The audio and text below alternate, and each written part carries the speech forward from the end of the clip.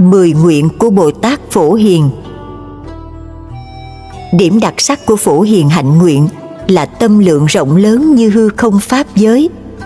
Do đó mười nguyện của Ngài, nguyện nào cũng thật là cứu cánh viên mãn. Thứ nhất, lễ kính chư Phật. Chư Phật là gì? Trong Kinh Hoa Nghiêm, Phật dạy chúng ta rằng tình giữ vô tình, đồng viên chủng trí. Đây chính là chư Phật. Tình là nhất thiết hữu tình chúng sanh, nghĩa là tất cả động vật. Vô tình là cây cỏ, khoáng chất. Như vậy, chư Phật có nghĩa là bao gồm tất cả mọi loài hữu tình và vô tình. Đem tấm lòng cung kính của chúng ta đối với Phật chuyển sang đối với chúng sanh. Đó là tâm phổ hiền, khác với tâm của hàng Bồ Tát, nghĩa là tâm này vượt bậc hơn cả tâm của Bồ Tát. Người học Phật đối với Phật rất là thành kính. Thật ra sự cung kính và thành khẩn này chưa phải là chân thật. Bởi vì sao? Quý vị thử nghĩ xem, trong lúc quý vị đang nghe giảng kinh, nếu gặp một người nào, một việc nào mà quý vị cho là quan trọng hơn, thì lập tức việc nghe giảng kinh sẽ trở thành thứ yếu. Phật cũng không màng nữa. Do đó mới thấy sự thành kính này chưa phải là chân thuần, hoàn toàn chân thật. Nếu lòng chí thành chí kính đó chân thuần, thì việc nghe giảng kinh thuyết pháp là việc lớn nhất trong cuộc đời của mình. Trong lúc nghe giảng Phật Pháp, có người đến nói rằng đang có một việc làm ăn có thể kiếm lời tới bạc triệu Mỹ Kim. Bảo đảm quý vị sẽ bỏ việc nghe Pháp đi theo họ ngay. Điều này cho thấy tấm lòng cung kính thành khẩn của chúng ta thật không kham nổi sự thử thách và chẳng đáng một đồng xu, cũng không chân thật chút nào. Sự cung kính trong hạnh nguyện phổ hiền mới là chân thật. Đối với tất cả chúng sanh cũng như đối với Phật không có khác. Tại sao vậy? Bởi vì tất cả chúng sanh vốn là Phật. Đắc tội với một chúng sanh tức là đắc tội với một vị Phật là không cung kính với một vị Phật.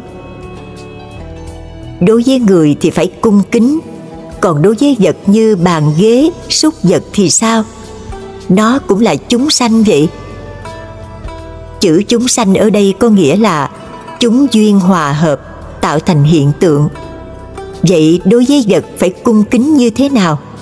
Có phải mỗi ngày đều lễ nó ba lạy không? Nếu học Phật Pháp như vậy, Hóa ra như con bọt Phật rồi. Đối với đồ vật, Chúng ta sắp xếp cho ngăn nắp.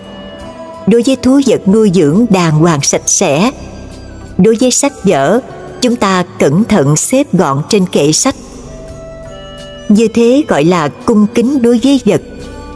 Còn làm việc thì chúng ta phải có trách nhiệm, siêng năng, hết lòng làm cho thật tốt, Gọi là cung kính đối với việc làm. Đối với người, vật cũng như đối với việc làm đều phải tỏ ra thái độ bình đẳng cung kính. Đây là đại hạnh của bồ tát phổ hiền. Cho nên bồ tát tu tập lục độ vạn hạnh đến khi rộng lớn tròn đầy thì gọi là hạnh phổ hiền. Cho nên hạnh phổ hiền là phương pháp tu tập thù thắng viên mãn nhất.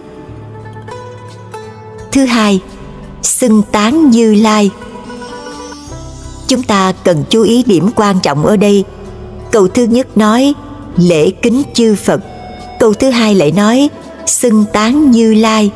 Mà ngài không nói, xưng tán chư phật. Dụng ý ở đây rất là thâm sâu. Thứ nhất, lễ kính chư phật là nói về mặt hình tướng. Đối với tất cả người thiện, kẻ ác, đối với tất cả chánh pháp, tà pháp đều nhất mực cung kính không hề phân biệt hoặc tỏ ra bất kính. Thứ hai, xưng tán như lai là nói về mặt tánh. Ở đây, điều thiện ta xưng tán, điều bất thiện ta không xưng tán. Chỗ khác biệt giữa lễ kính chư phật và xưng tán như lai là như vậy. Thiện tài đồng tử trong 53 lần tham vấn đã có những điển hình như sau. Ngài đối với mỗi một vị thiện tri thức đều lễ kính tán thán. Duy chỉ đối với ba vị, ngài lễ kính mà không có tán thán. Ba vị này là, thứ nhất, thắng nhiệt bà la môn, một người ngoại đạo, đại diện cho si mê. Do đó, thiện tài đồng tử chỉ cung kính mà không tán thán. Thứ nhì, cam lộ hỏa dương tượng trưng cho sân giận. Vị này rất nóng tính chỉ đắc tội với ông ta một chút liền bị trị tội. Thả vào chảo dầu, bắt leo lên núi đao. Do đó, thiện tài đồng tử ra đi trong cung kính mà không tán thán. Thứ ba, phát tô mật đa, một dâm nữ. Thiện tài đồng tử vẫn cung kính mà không tán thán.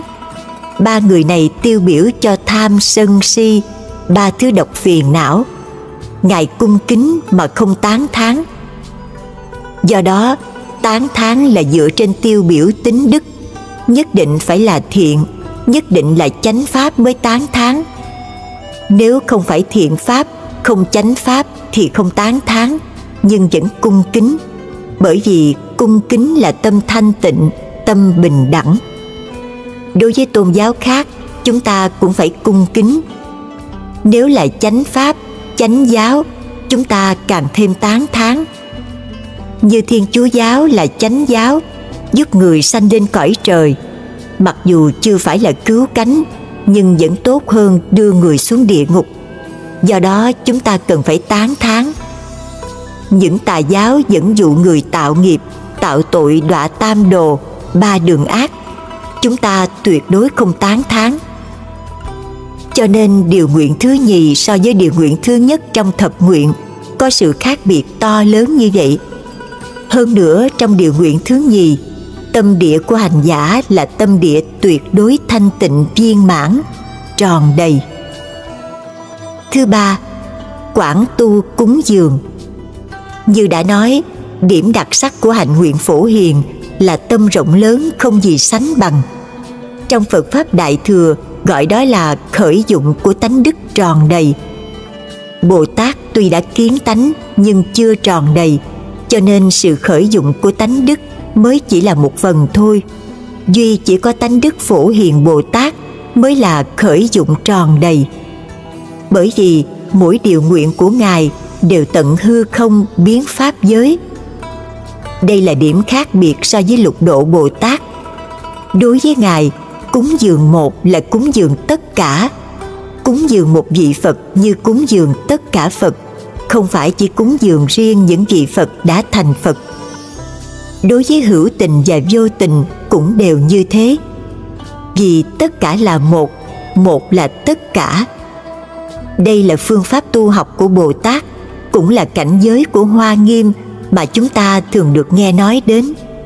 Với tâm lượng như vậy mới hoàn toàn thoát khỏi sự phân biệt và giới hạn ngài phổ hiền thường dạy chúng ta rằng, trong tất cả cúng dường cúng dường pháp là tối thượng. Bởi vì chỉ có phật pháp mới chỉ dạy phá mê khai ngộ, giúp chúng ta chứng đắc, hồi phục tự tánh tròn đầy của mình. Những việc cúng dường bố thí khác không thể đạt được. Trong pháp cúng dường, y giáo tu hành cúng dường. Y theo lời chỉ dạy mà tu, đó là cúng dường là hàng đầu. Tôi xin đặc biệt nhắc quý vị đồng tu điều này. Phật pháp là thầy dạy đạo, cho nên chúng ta nhất định phải kính thầy trọng đạo.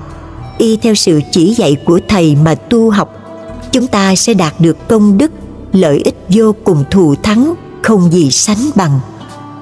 Bàn về phật pháp, ta thử nghĩ bộ kinh nào được xếp hàng đầu.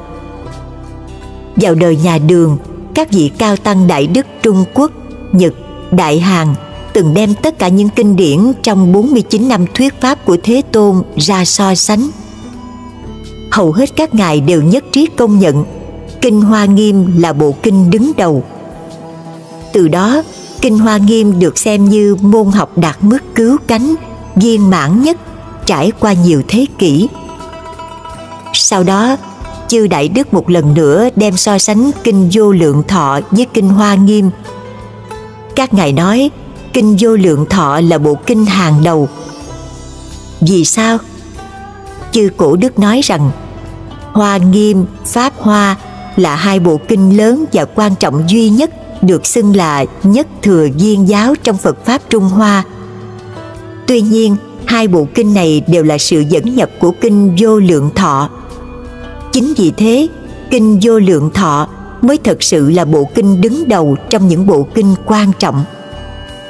Khi đọc đến lời nói này của chư cổ đức, tôi vô cùng vui mừng bởi vì chính tôi cũng có sự cảm nhận sâu sắc như thế.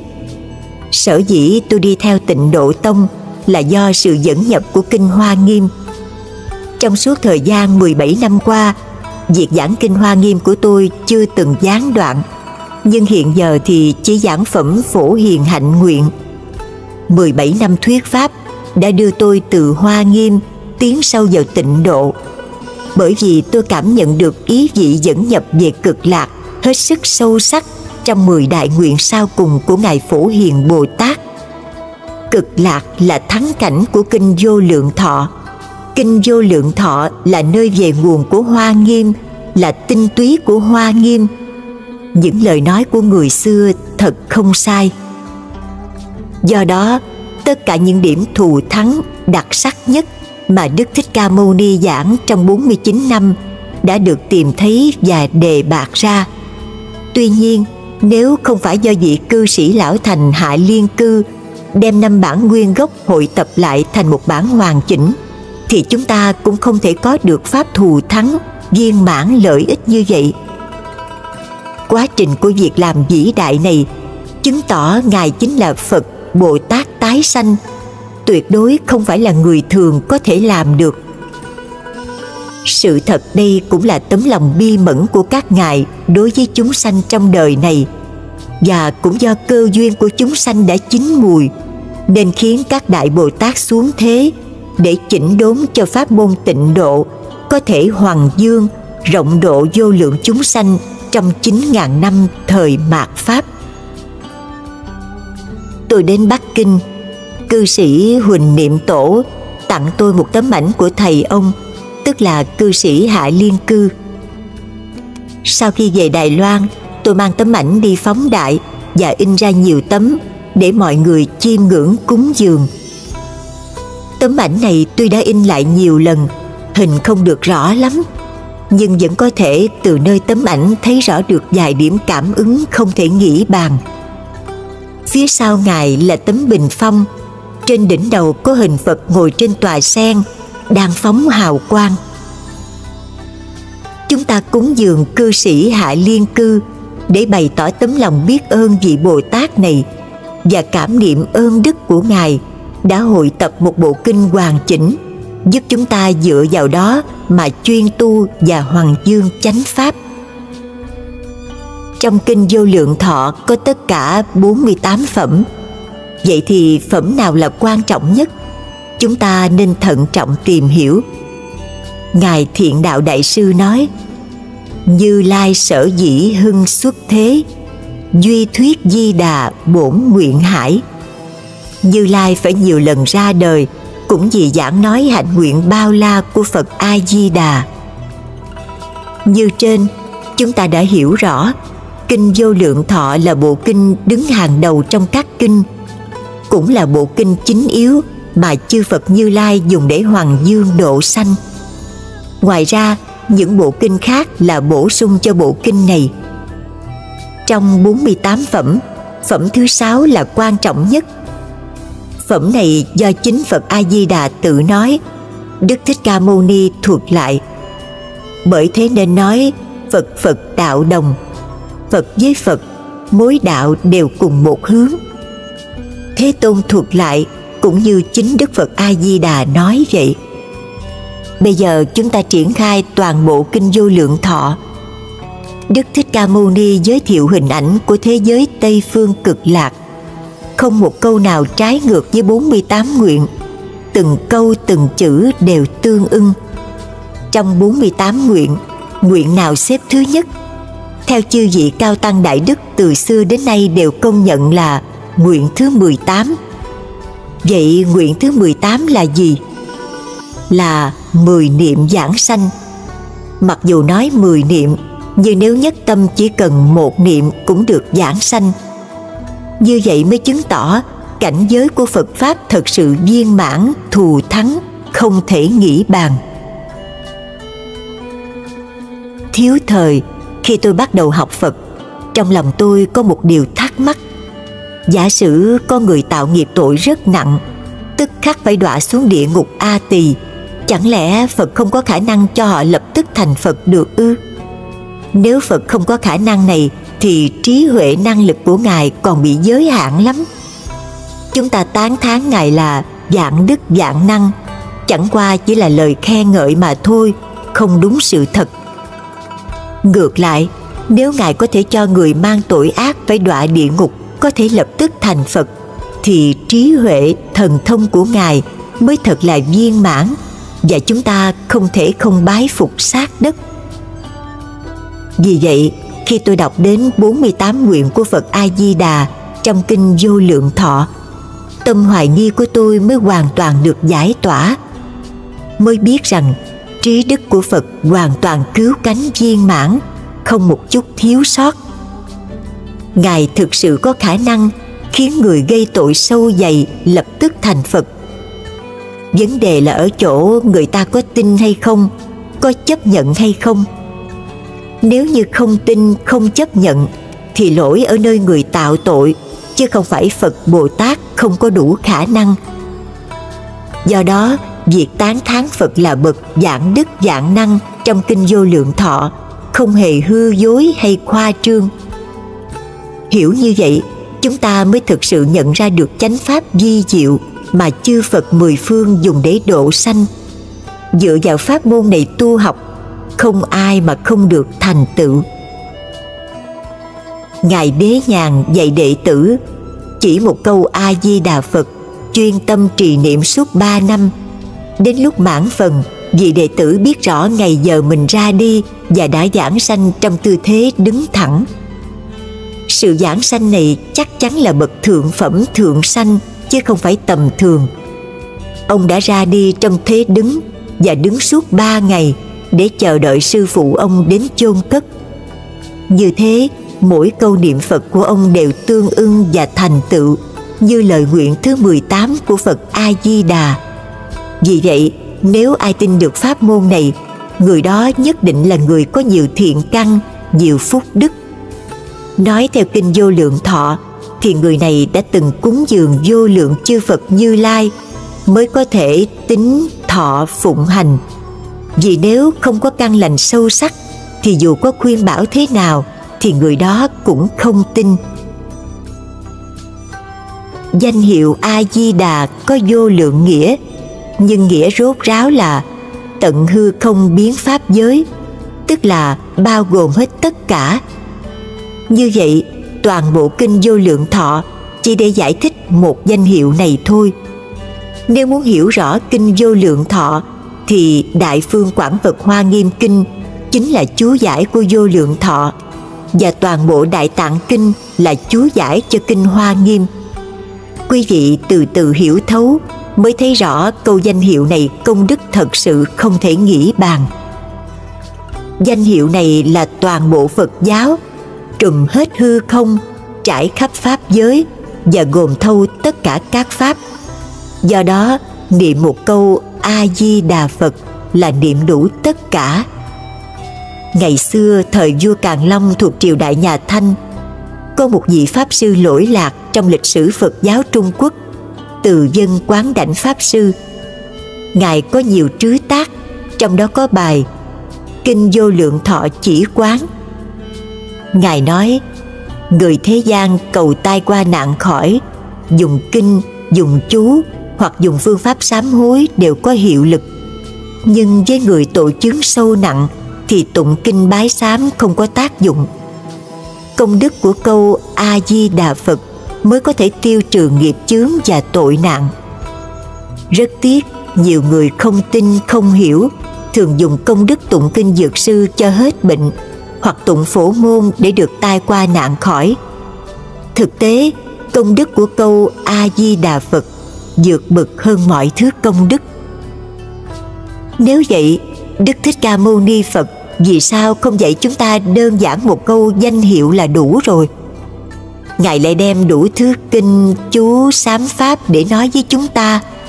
Bởi vì chúng ta không tin, không chấp nhận, nên Ngài phải phương tiện đem loại hàng thượng hạng này tái chế. Cũng giống như chúng ta ở Đài Loan, đi tham quan cung vua, trong cung món đồ quý giá nhất là những loại đồng khí của thời Thương Châu. Nhưng theo một số người cho đó là những thứ đồng hư, sắc dụng, không thích thú chút nào – Đến khi nhìn thấy những loại ngọc khí, đồ chế tạo của đời Minh Hán như cẩm thạch, mã não, họ trầm trồ khen ngợi.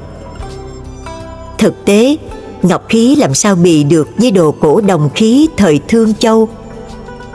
Những thứ chúng ta cho là đồng hư sắc dụng đó mới thực sự là vô giá chi bảo, bảo vật vô giá.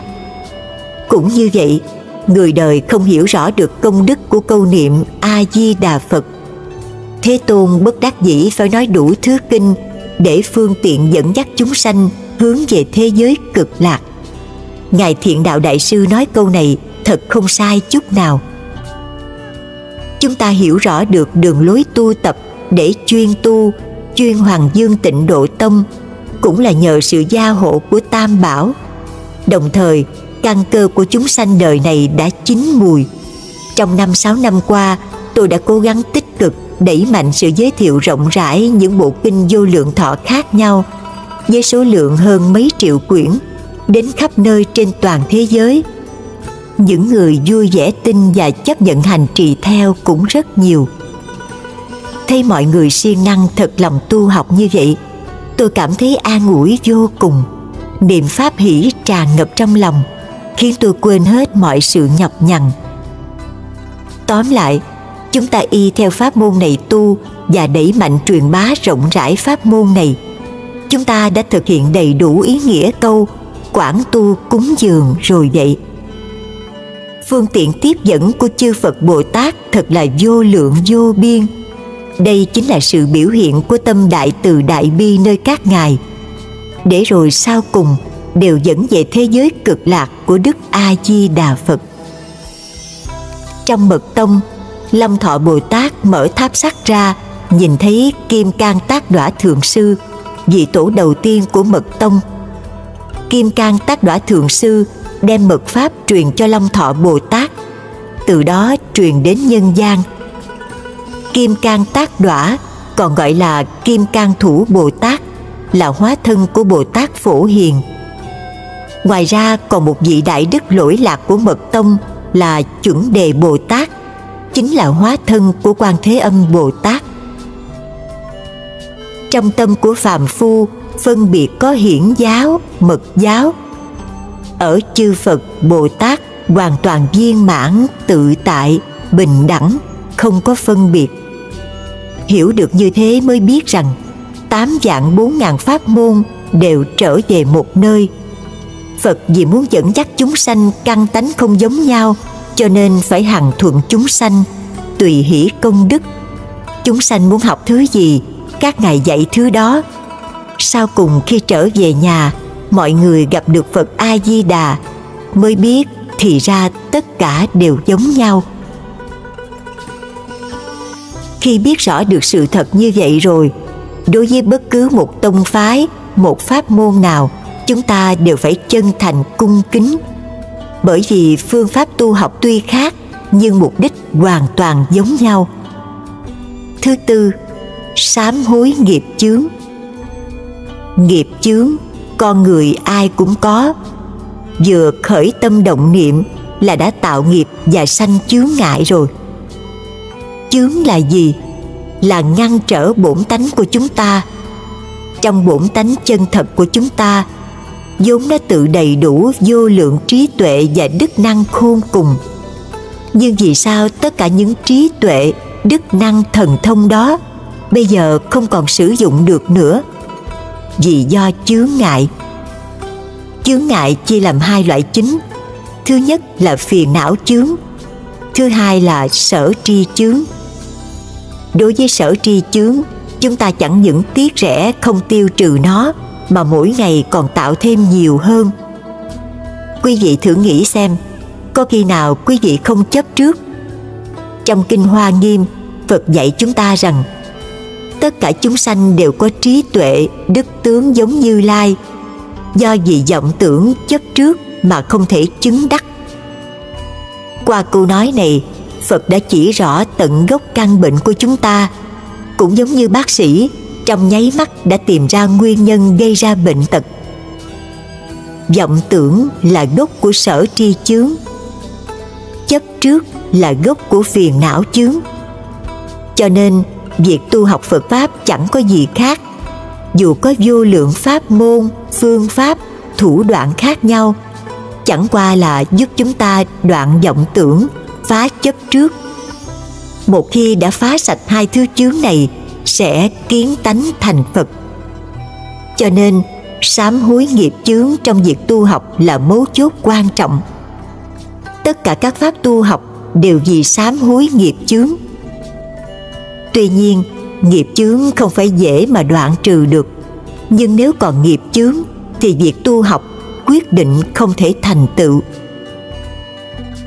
Trong vô số pháp môn, pháp môn tịnh độ dễ hành trì và có kết quả thù thắng nhất cho dù chúng ta tạo nhiều nghiệp tội sâu dày thậm chí tạo tội ngũ nghịch phải đọa địa ngục a tỳ nghiệp chướng tuy chưa sám hối tiêu trừ hết chỉ cần phát lòng chân thành nguyện, từ nay sửa đổi. Niệm hồng danh a di đà phật, cầu sanh tịnh độ. Bao nhiêu tội chướng cũng sẽ tiêu hết, lập tức có thể thành phật. Ngài từ dân đại sư nói, một câu a di đà phật có thể tiêu trừ hết những nghiệp chướng mà những kinh chú khác không tiêu nổi. Lời này không phải tùy tiện mà nói sự thật rõ ràng chính xác được chứng minh trong những bộ kinh lớn mấy năm vừa qua một số người nêu vấn đề phải tiêu trừ hết nghiệp mới giảng sanh chưa sạch nghiệp thì không thể giảng sanh được những lời nói như thế gây chấn động tinh thần trong giới Phật giáo và làm hoang mang tính tâm của người niệm Phật ở Đài Loan cũng như ở Mỹ. Năm 1984, cư sĩ Chu Tuyên Đức ra phi trường đón tôi. Vừa gặp mặt, ông liền hỏi Thưa Thầy, hiện nay có người nói rằng người còn nghiệp không thể giảng sanh, phải sạch nghiệp mới được giảng sanh. Như vậy đời này chúng con niệm Phật không được giảng sanh thì phải làm sao đây? Có uổng phí hoài công không? Tôi mỉm cười trả lời ông ta rằng Ông à, nếu người còn mang nghiệp mà không được giảng sanh thì cũng chẳng đi làm gì. Lão cư sĩ kinh hoàng dội thưa Vậy, vậy là sao thưa thầy? Tôi nói Nếu còn mang nghiệp không được giảng sanh thì cảnh giới Tây Phương cực lạc chỉ có một mình Đức Phật A Di Đà. Ông lên đó để làm gì? Lão cư sĩ thành thật thưa Thưa thầy tôi vẫn chưa hiểu Tôi nói Ông thử nghĩ xem Thế giới Tây Phương cực lạc Có tứ độ, tam bối, cửu phẩm không? Lão cư sĩ nói Thưa có Trong kinh Phật có nói đến Tôi nói nếu bảo không còn nghiệp mới được giảng sanh Vậy thì danh từ tứ độ, tam bối, cửu phẩm Do đâu mà có Vừa nghe xong Ông ta liền chợt hiểu Thật ra danh từ tứ độ, tam bối, cửu phẩm Là để phân cấp nghiệp chướng nhiều hay ít. Còn mang nghiệp nhiều thì phẩm vị thấp Ngược lại mang nghiệp ít thì sẽ được phẩm vị cao hơn. Tôi nói tiếp với vị cư sĩ. Ông thử nghĩ xem Bồ Tát Quan Âm Bồ Tát Văn Thù Bồ Tát Phổ Hiền Các ngài đều là đẳng giác Bồ Tát. Trong Kinh Phật nói với chúng ta rằng Bồ Tát đẳng giác Vẫn còn một phẩm vô minh chưa phá hết. Đó không phải là nghiệp hay sao? Lần này, Lão cư sĩ mới vui vẻ cười nói, Ồ, đó chính là nghiệp. Đẳng giác Bồ Tát vẫn còn mang nghiệp giảng sanh. Nếu nói không còn nghiệp, Chỉ có Phật A-di-đà. Ngoài Phật ra, Không ai mà không mang nghiệp. Tôi nói Vậy thì ai bảo rằng Người còn mang nghiệp không thể giảng sanh Lão cư sĩ đã thật sự hiểu rõ Và phá lên cười giòn thì ra thế giới cực lạc đều có thể mang nghiệp giảng sanh Phật Pháp là nói đến sự viên mãn, hằng thuận, không kết oán với người khác. Do vậy tôi xin bổ sung thêm một câu. Cần phải tiêu nghiệp thì cũng không sai. Vì sao vậy? Mong rằng hiện tại tiêu bớt một phần nghiệp, sẽ mang ít đi một phần. Khi đến thế giới cực lạc, sẽ được dự vào hàng phẩm vị cao hơn người còn mang nhiều nghiệp. Đó là điều rất tốt. Tôi đến nữ ước, New York, vừa xuống phi trường lão cư sĩ Trầm Gia Trân đến đón, cũng đem vấn đề tương tự như trên ra hỏi điều này chứng tỏ rằng, nhiều người chưa hiểu thấu đáo như tôi đã giải thích do đó, họ bị ảnh hưởng đến công phu niệm Phật. Một khi đã hiểu, thì cách nói không mang nghiệp hay phải sạch nghiệp đều có ý tốt, giúp chúng ta nhận thức rõ là phải luôn luôn sám hối nghiệp chướng. Niệm một câu a di đà phật chính là chân thành sám hối vậy. Tuy nhiên, trong khi niệm, tâm của ta cũng phải tương ưng với tâm của phật a di đà hành giải của ta cũng phải tương ưng với hành giải của phật a di đà vậy làm thế nào mới có thể tương ưng? Khi quý vị tụng kinh vô lượng thọ, quý vị phải siêng năng nỗ lực làm theo tất cả những đạo lý, lời dạy trong kinh. Được như thế gọi là tương ưng. Như vậy, quý vị mới là người niệm phật chân chính niệm phật tuyệt đối không phải là hữu khẩu vô tâm. Miệng niệm phật mà lòng thì suy nghĩ vẫn dơ. Niệm phật như vậy không được một chút lợi ích gì hết. Trong khi niệm phật, tâm mình nhất định phải giống với tâm của phật, nguyện mình giống với nguyện của phật, không một chút sai khác. Đem 48 đại nguyện của Ngài biến thành bổn nguyện của chính mình. Như thế mới là chân chính niệm Phật và thật sự tiêu trừ hết tất. Niệm Phật một câu để tâm chúng sanh trở thành Phật. Niệm Phật một câu để ao nước đục trở thành ao nước trong.